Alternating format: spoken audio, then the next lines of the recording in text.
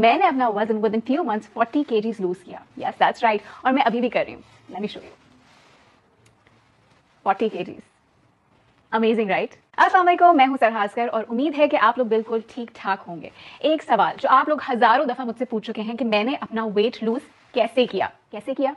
मैंने अपनी ज़िंदगी में एक सप्लीमेंट को यूज़ किया। वो है हेयर एनर्जी का बर्न द फैट ये लिटरली फैट को एकदम बर्न कर देता है।